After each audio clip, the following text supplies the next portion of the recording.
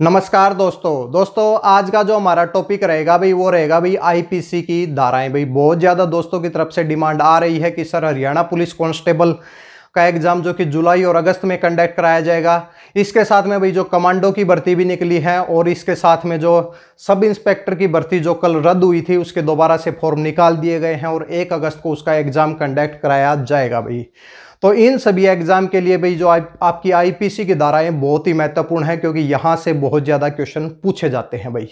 ठीक है तो बहुत ज़्यादा दोस्तों को ये टेंशन हो रही थी कि सर आईपीसी की धाराएँ कहाँ से पढ़ें तो भाई हम उनके लिए आज आईपीसी की धाराएँ लेकर आए हैं भाई।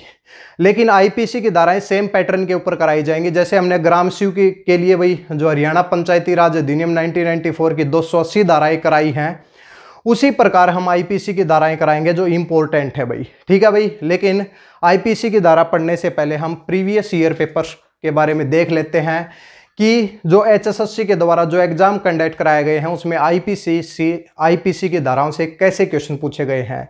डायरेक्ट आईपीसी की धाराओं से पूछे गए हैं या फिर कुछ जर्नल क्वेश्चन भी पूछे गए हैं? चलो भाई, आज की क्लास की शुरुआत करेंगे भाई। इसके साथ में इन्फॉर्म कर देते हैं भाई, जो भी दोस्त कमांडो की तैयारी कर रहे हैं, हरियाणा पुलिस के किसी भी एग्ज़ाम की तैयारी कर रहे हैं, चाहे सब इंस्पेक्टर की कर रहे हैं मेल फीमेल सभी के लिए ये क्लास बहुत ही इंपॉर्टेंट होने वाली है भाई। ठीक है भाई?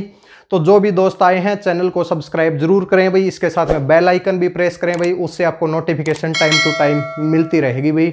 चलो भाई, आज की क्लास की शुरुआत करते हैं। इसके साथ में आप अगर ग्राम शिव पटवारी और कनाल पटवारी के एग्ज़ाम की तैयारी भी कर रहे हैं तो चैनल के ऊपर स्पेशल सब्जेक्ट से रिलेटेड बहुत ज़्यादा डाटा अवेलेबल है। ठीक है भाई, शुरुआत करते हैं भाई। देखिए भाई 2018 में भाई हरियाणा पुलिस का कांस्टेबल का इसके साथ में सब इंस्पेक्टर के जो एग्ज़ाम हुए थे, उसके अंदर आईपीसी के क्वेश्चन है भाई। सबसे पहले क्वेश्चन की तरफ़ बढ़ते हैं भाई। सबसे पहला क्वेश्चन है कि दहेज हत्या कौन सी धारा से संबंधित है? यानी कि आईपीसी में दहेज हत्या की बात कहाँ पर हुई है? तो सबसे पहला क्वेश्चन देख लीजिए भाई। दहेज हत्या भाई। दहेज हत्या।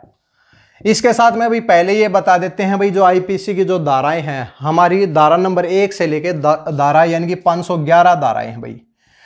511 तक हम जाएँगे। इसके साथ में भाई, कुछ धाराओं में क्या है कि जैसे कि धारा एक का कुछ पार्ट है ए बी सी जैसे 304 है 304 का ए बी सी पार्ट है।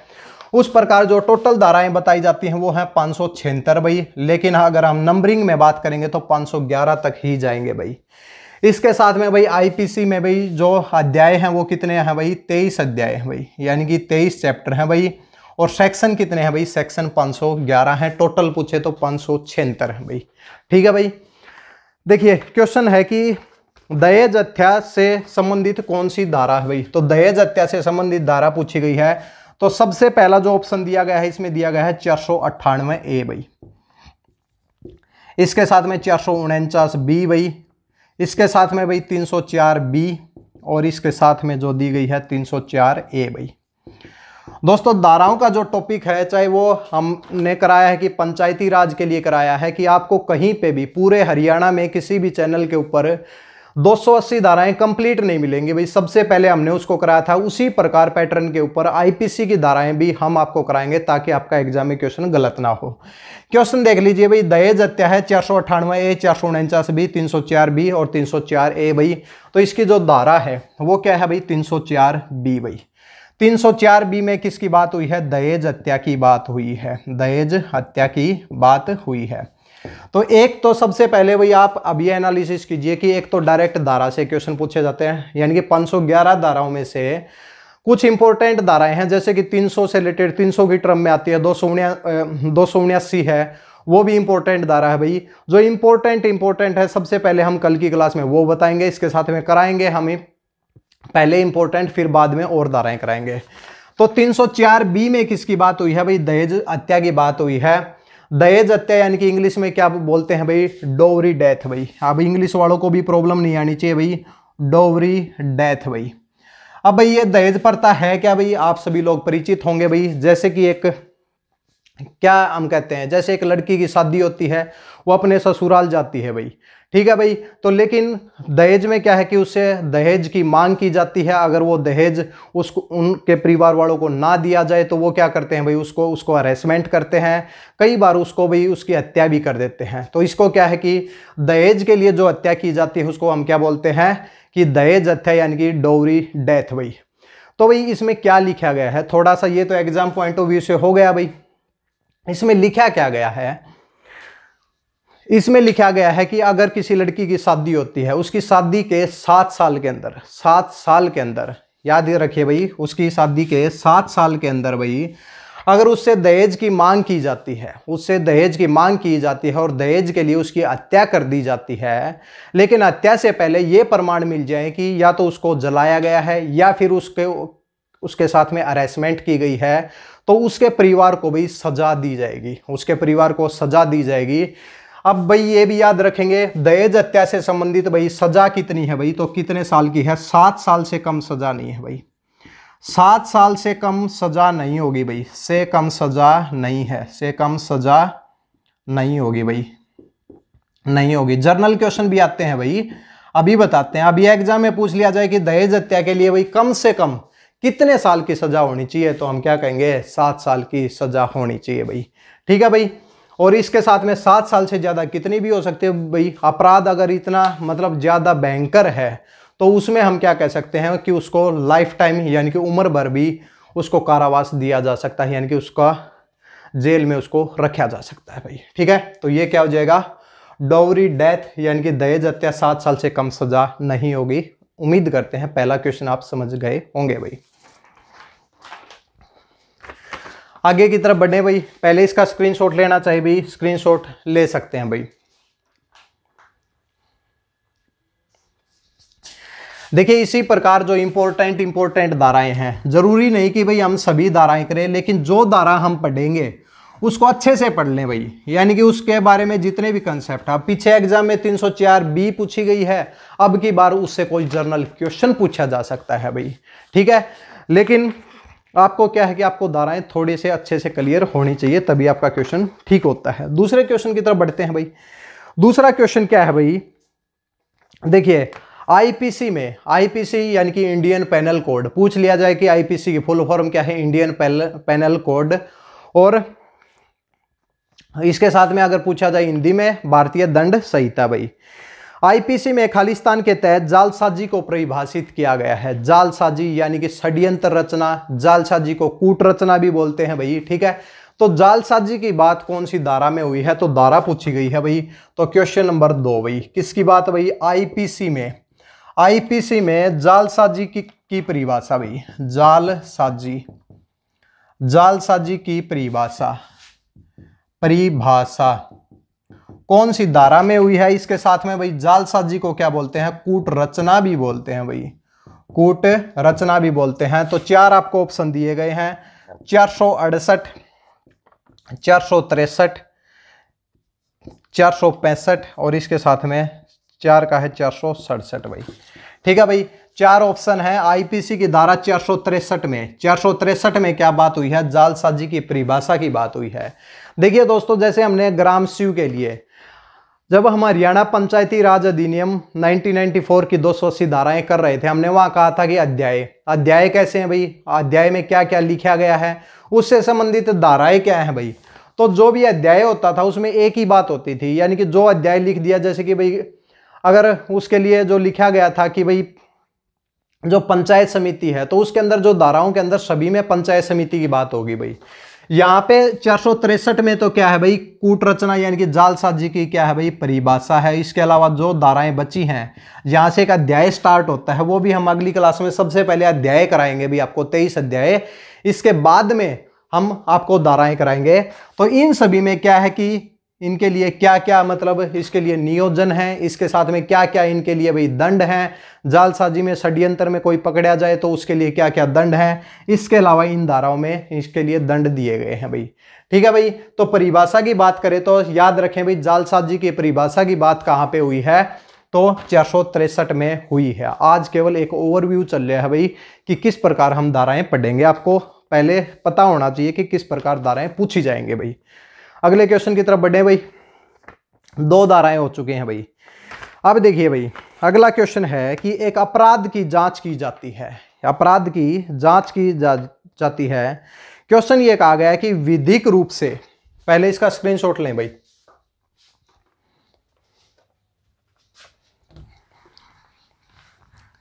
बिल्कुल इजी हो जाएँगी भाई ये टॉपिक आपको ज़्यादा मुश्किल नहीं लगेगा भाई। अब प्रॉब्लम ये है कि भाई अभी तो देखिए दो से तीन क्वेश्चन पूछे जा रहे हैं। अभी जो ग्राम शिव में जो एचएसएससी ने सभी को चौंका दिया कि 10 से 12 क्वेश्चन डाल दिए गए भाई।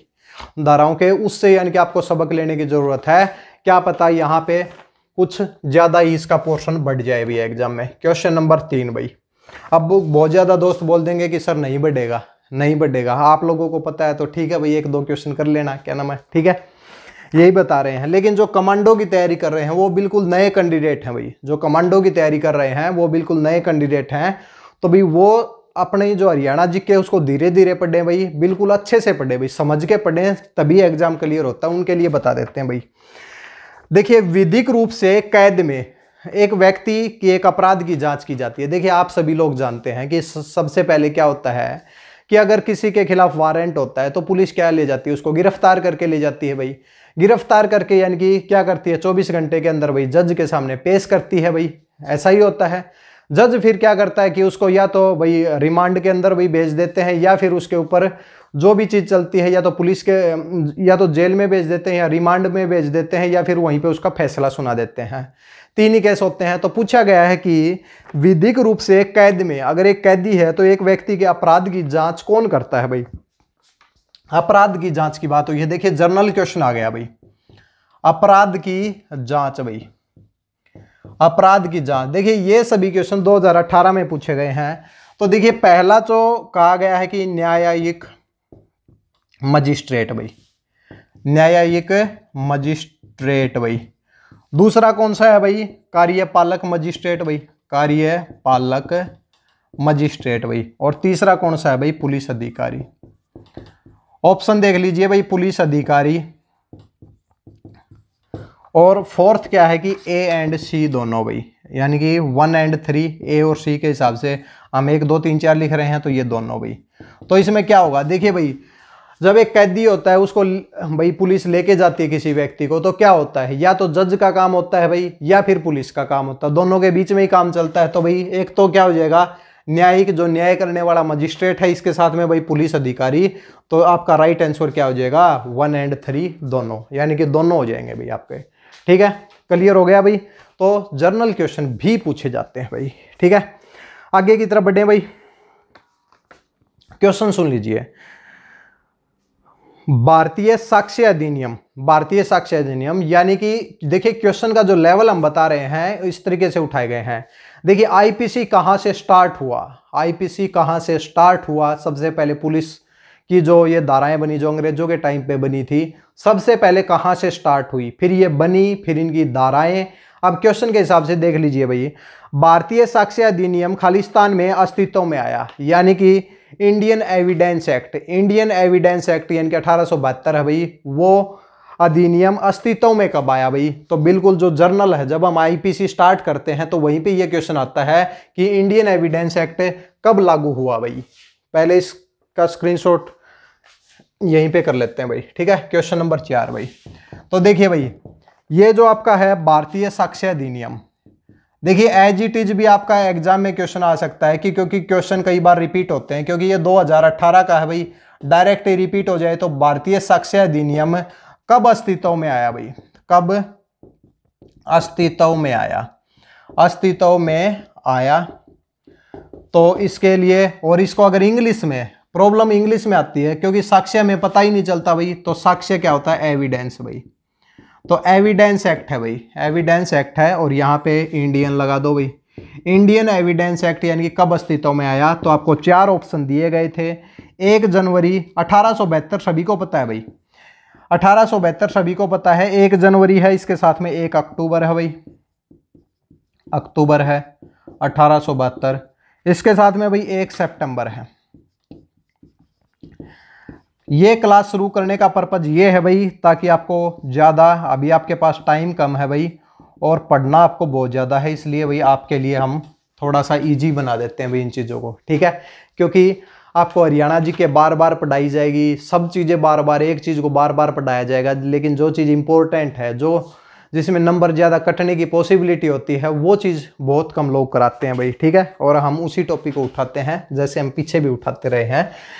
एक सितंबर भाई, एक सितंबर अठारह सौ बहत्तर को क्या हुआ था भाई? यानी कि इंडियन एविडेंस एक्ट यानी कि अठारह अस्तित्व में आया था भाई। याद रखेंगे, भारतीय साक्ष्य अधिनियम कब अस्तित्व में आया? तो हम बताएँगे अठारह में भाई। अठारह में, एक सितंबर अठारह में भाई। ठीक है भाई? आगे की तरफ़ बढ़े भाई।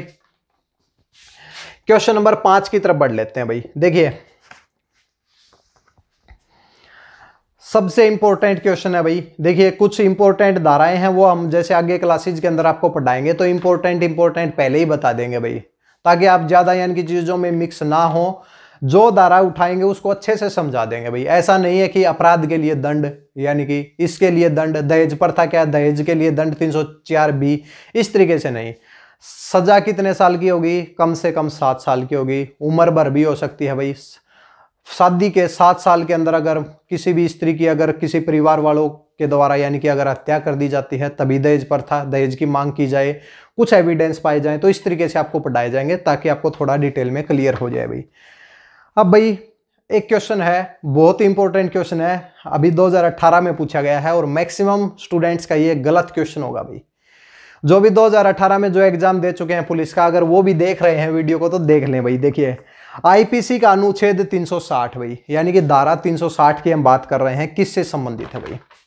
यानी कि भाई धारा नंबर 360 भाई, यानी कि धारा नंबर 360 है, किस चीज़ से संबंधित है भाई? किस चीज़ से संबंधित है? सबसे पहला ऑप्शन आया था अपहरण। अपहरण। दूसरा जो ऑप्शन आया था भाई, चोरी भाई। चोरी। और तीसरा जो ऑप्शन आया था, हत्या भाई। हत्या। और फोर्थ था, कोई नहीं भाई। अब देखिए, ये H S S C U P S C बन जाता है भाई यहाँ पे।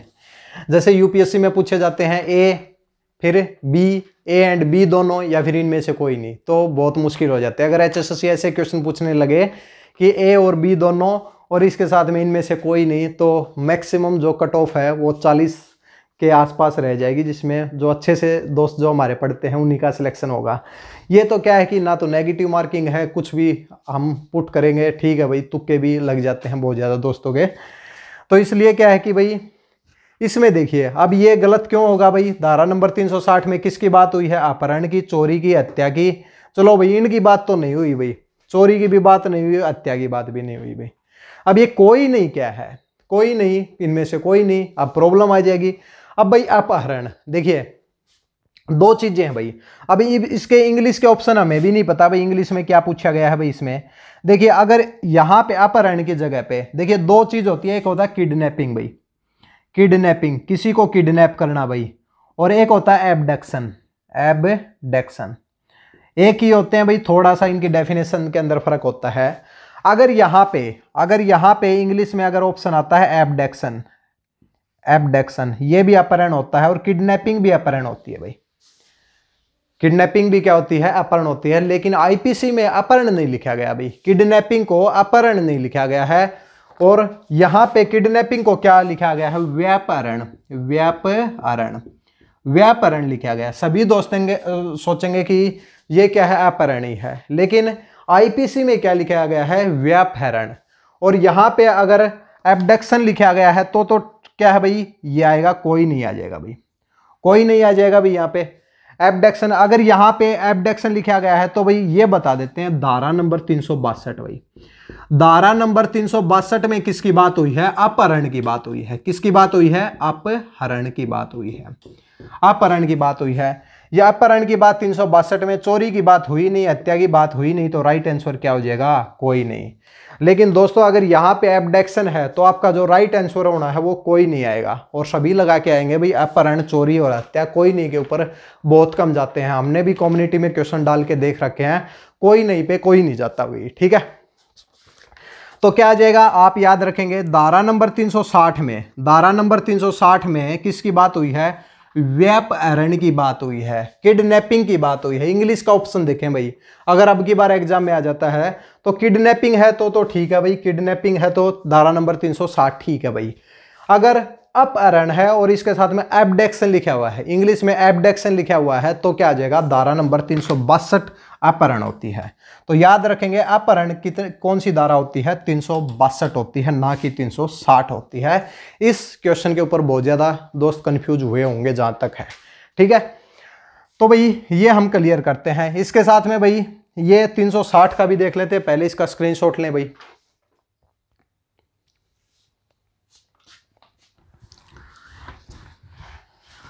अब 360 के ऊपर चलते हैं भाई। 360 में क्या है कि अब की बार पूछा गया है 360 भाई, लेकिन अब की बार एग्ज़ाम में क्या पूछ लिया जाए तीन भाई? या पूछ लिया जाए 360 भाई, और यानी कि या पूछ लिया जाए तीन भाई, या फिर तीन भाई। चार धाराएँ तो अभी बता देंगे भाई। ये किडनैपिंग भाई, तीन सौ उनसठ का मतलब क्या होता है? किडनैपिंग होता है। क्या होता है? किडनैपिंग। ठीक है? किडनैपिंग यानी कि हम बोलते हैं व्यापहरण व्यापहरण समझ गए भाई? किडनैपिंग तीन सौ उनसठ है। याद रखें। फिर ये पूछेंगे सर आपने तो अभी अभी कहा था 360 भी है तो किडनैपिंग ही है भाई। किडनैपिंग है कहाँ से? From India kidnapping from India Bharat की बात हो रही है भाई। किडनैपिंग फ्रॉम इंडिया भाई। 360 इंडिया से रिलेटेड यानी कि वो है भाई। किडनैपिंग अगर हम डायरेक्ट यानी कि किडनैपिंग फ्रॉम दी इंडिया भाई। इसके साथ में भाई तीन सौ इकसठ यानी कि kidnapping by legal guardian kidnapping by legal guardian समझाएँगे भाई इंग्लिश ज़्यादा होगी, ठीक है? गार्जियन भाई। देखिए, दोनों में क्या है कि देखिए, तीन सौ उनसठ में तो किडनैपिंग में कहा गया है। किडनैपिंग के दो टाइप है भाई। पहला है इंडिया से, दूसरा क्या है भाई? किडनैपिंग लीगल गार्जियन से भाई। अब ये लीगल गार्जियन में क्या फ़र्क है भाई? इसमें तो सीधी सी बात है भाई, अगर किसी की सहमति के बगैर अगर हम किसी को किडनैप करते हैं तो भाई हमें सजा दी जाएगी। उसको किडनैपिंग माना जाएगा। कौन सी धारा लगाई जाएगी? 360 लगाई जाएगी भाई। ठीक है? लेकिन तीन सौ इकसठ में लीगल गार्जियन का मतलब क्या है कि अगर मान लिया कि अगर हम किडनैपिंग करते हैं भाई किसी छोटे बच्चे की, अगर मान लिया कि अगर कोई बच्चा है वो 16 साल का है, अगर मान लिया कि मेल है मेल है और 16 साल से कम उम्र है भाई, लेकिन फीमेल है जिसकी उम्र 18 साल से कम है भाई, फीमेल है फीमेल है, अगर कोई व्यक्ति अगर उनको किडनैप करता है, उनके संरक्षण के लिए, उनके अच्छे के लिए, अगर मान लिया कहीं पे वो जा रहे हैं, उनको उठा के भाई यानी कि किसी सुरक्षित जगह के ऊपर पहुँचा देता है तो वो उसको किडनैपिंग नहीं माना जाएगा भाई। अगर मान लिया उसके ऊपर कल केस भी कर दिया जाए तो वो सबूत देगा कि ये किडनैपिंग हमने नहीं की है। क्योंकि हमने क्या किया है कि लीगल गार्जियन के तरीके से इनको संरक्षण देने के लिए इनको उठाया है भाई। ठीक है? तो इसमें क्या है कि इसमें तो अगर किसी व्यक्ति की सहमति के बगैर, क्योंकि ये तो क्या है भाई, ये तो 18 साल से ऊपर है भाई, इनके सोचने समझने की शक्ति है भाई, इसमें तो कोई एक्सक्यूज नहीं दिया जा सकता। लेकिन यहाँ पे लीगल गार्जियन रखा गया है कि छोटे जो बच्चे हैं या फिर अनसाउंड माइंड अगर कोई व्यक्ति क्या है कि भाई गाली गलोच करने वाला है, अब कोई व्यक्ति गाली गलोच कर रहा है, उसको उठा के भाई कहीं पे आप जाके किसी कमरे में डाल के उसको बंद कर दो भाई तो फिर ये नहीं कि आपके ऊपर केस किया जाएगा। वहाँ पे आपको सबूत देना पड़ेगा कि ये अनसाउंड माइंड है, यानी कि अबद्धा बोल रहा है या फिर इस तरीके से कुछ एक्सक्यूज दिए जा सकते हैं। लेकिन नॉर्मल केस में तो किडनैपिंग 360 हो जाएगी, लेकिन अगर आप छोटे लड़कों जिसकी 18 साल से कम उम्र है, यानी कि छोटे बच्चों के लिए, या फिर कोई व्यक्ति गाली गलौज करता है अनसाउंड माइंड का है तो उसके लिए क्या है कि उसके लिए तीन सौ इकसठ धारा है। और तीन सौ बासठ में क्या है एबडेक्शन यानी कि अपहरण एक ही है कहने में, बस लिखने में थोड़ा सा फ़र्क है एबडेक्शन आप सभी लोग जानते हैं, संविधान जब हम पढ़ते हैं तो संविधान में हमें लगता है कि सब चीज़ें, प्रधानमंत्री का कार्यकाल पाँच साल का होता है, कहीं पे लिखा है, कहीं पे नहीं होगा। जब तक यानी कि मेजोरिटी में रहेगा, जब तक उसके सांसद उसके ऊपर वो रहेंगे, जैसे प्रधानमंत्री मोदी है, क्या पाँच साल का कार्यकाल है भाई? सभी सांसद अपोजिट हो जाएँ, किसी और को उठा के बना दें। नहीं हुआ अभी पाँच साल का। बहुमत के साथ, बहुमत दल का नेता रहेगा, तब तक प्रधानमंत्री है भाई, ठीक है? तो संविधान में कुछ चीज़ें डायरेक्ट नहीं है कि हमें लगता है कि सब चीज़ें इस तरीके से हैं। तो भाई, ये हमारे पाँच क्वेश्चन हुए भाई, हमने कंप्लीट किए भाई, ठीक है भाई? ये सभी क्वेश्चन 2018 के पेपर में पूछे गए हैं 2016 में पूछे नहीं गए भाई। अब 2021 में देखते हैं भाई आईपीसी के धाराओं से कैसे क्वेश्चन आते हैं और हम आपको किस तरीके से, बहुत अच्छे तरीके से आपको भाई समझाएँगे भाई, ठीक है? जो दोस्त भाई नए आए हैं ग्राम शिव की तैयारी कर रहे हैं, पटवारी की तैयारी कर रहे हैं, कनाल पटवारी की तैयारी कर रहे हैं।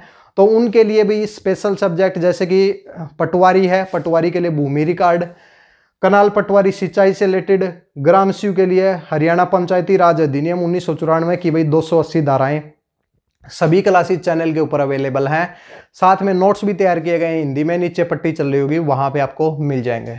तो भाई इस वीडियो को ज़्यादा से ज़्यादा भाई शेयर करें और जितने भी दो, दोस्त नए आए हैं चैनल को सब्सक्राइब ज़रूर करें। अपने दोस्तों को बताएँ कि यहाँ पे आईपीसी की धाराएँ कराई जाएँगी, जिससे आपको कोई भी प्रॉब्लम नहीं आएगी। चलो भाई, मिलते हैं अगली क्लास में। तब तक के लिए धन्यवाद।